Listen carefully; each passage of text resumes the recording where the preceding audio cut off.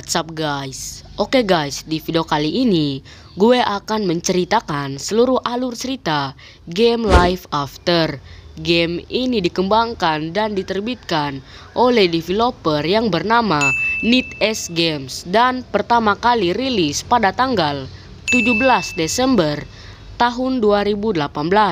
Game ini adalah game zombie terbaik untuk mobile dan grafis dari game ini itu sudah sangat bagus. Akan tetapi, game ini memiliki ukuran hampir 4 GB yang artinya tidak sembarang HP yang bisa memainkan game ini, melainkan hanya HP yang memiliki spek yang bagus dan memiliki storage yang banyak.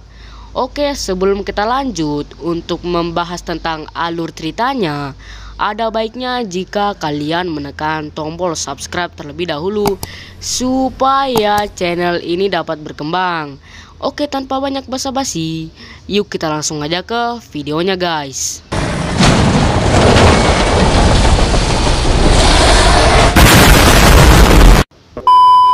Awal cerita dikisahkan ada sebuah virus yang telah menghancurkan kota. Virus ini sebenarnya berasal dari rumah sakit yang sedang melakukan penelitian. Namun karena kelalaian manusia sehingga membuat virus ini muncul entah dari mana sehingga membuat orang-orang yang ada di kota menjadi agresif dan gila. Virus ini menyebar begitu cepat sehingga membuat orang-orang banyak yang menjadi zombie dan beberapa tim penyelamat dikirim di beberapa kota yang hancur akibat virus zombie tersebut. Tim penyelamat itu ditugaskan untuk mengevakuasi korban yang masih selamat.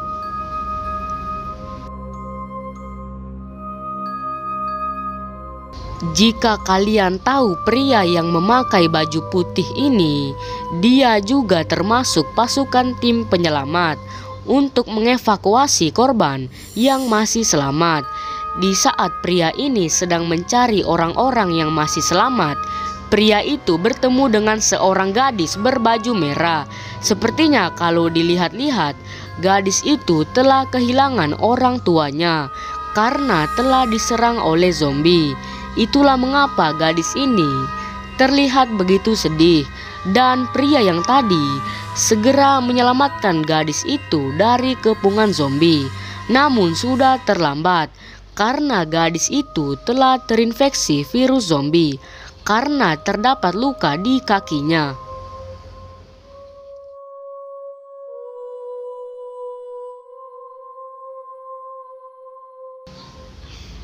Saya enggak tahu nasib gadis itu kayak gimana.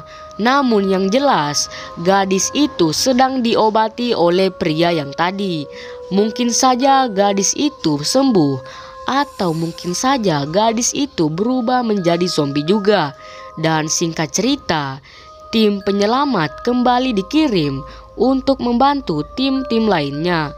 Tim penyelamat itu datang menggunakan mobil truk akan tetapi, di tengah perjalanan mereka, tiba-tiba mobil truk mereka diserang oleh beberapa zombie. Akibat serangan tersebut, membuat mobil truk tersebut mengalami kecelakaan. Dan di sinilah game Life After dimulai. Kita sebagai player diharuskan untuk bertahan hidup dari zombie apokalips. Gue enggak tahu kita disuruh bertahan berapa lama dari serangan zombie. Dan kita lanjut ke alur ceritanya. Setelah berhasil mengevakuasi beberapa korban yang selamat, para tim penyelamat terus mencari orang-orang yang masih bisa bertahan dari serangan zombie.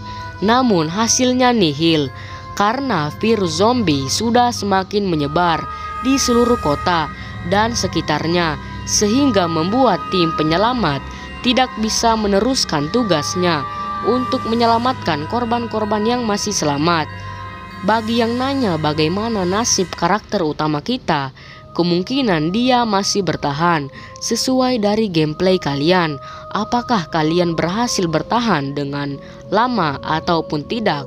Nasib dari karakter utama kita ditentukan oleh gameplay kita masing-masing guys.